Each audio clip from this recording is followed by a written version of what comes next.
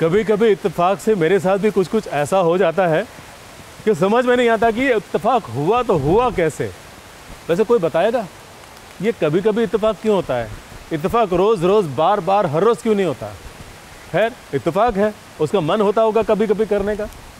तो हो जाता है कभी कभी इत्तेफाक।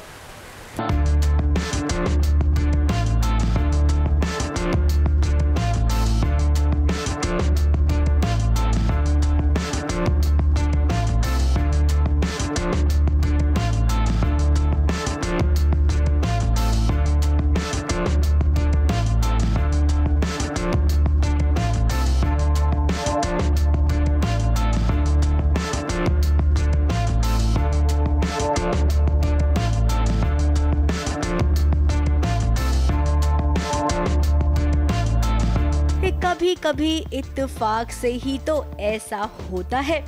एक होता है लेफ़्ट तो दूसरी होती है राइट और जब ये लेफ़्ट और राइट एक दूसरे से मिलते हैं तभी तो कहते हैं कभी कभी इत्तेफाक से ऐसा भी हो जाता है। मनन और गुनगुन के साथ कुछ ऐसा ही होगा। अब गुनगुन कैसी है, ये तो आप सबको पता चल ही गया होगा कि वो आज की लड़की है। बड़ों की रिस्पेक्ट तो करती है लेकिन अपनी शर्तों पर जीती है। उसे जो पसंद है वो वही करती है। अब देखिए जाना है शादी में लेकिन वो लहंगा चोली या अनारकली ड्रेस पहनकर शादी में नहीं जाना चाहती है। उसने तो तय कर लिया है कि शॉर्ट मीडी पहनकर वो शादी में जाएगी। तुम चेंज करने जा रही हो कि नहीं? नहीं। अगर जाना है तो ऐसे ही जाऊँगी वरना not interested what not interested यार हमने वो डिसाइड किया कि जाना है। तो वही जिसके घर वो शादी में जा रही है अनुभव की बहन खुशी की शादी है। तो भाई उसकी शादी में जब गुनगुन शॉर्ट ड्रेस पहनकर दस्तक देगी तो तबाही तो मचेगी।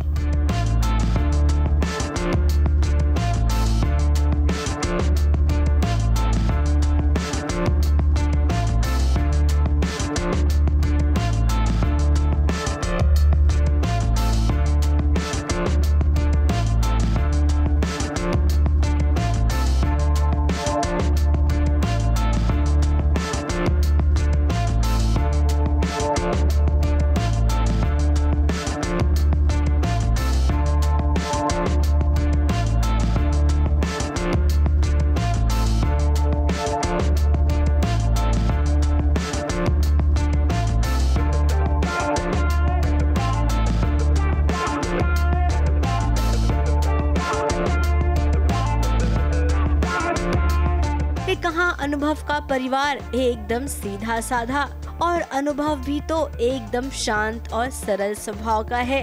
फिर ऐसे में गुनगुन कैसे फिट होगी इनके घर में? ये देखना तो वाकई में बहुत दिलचस्प होगा। ABP news report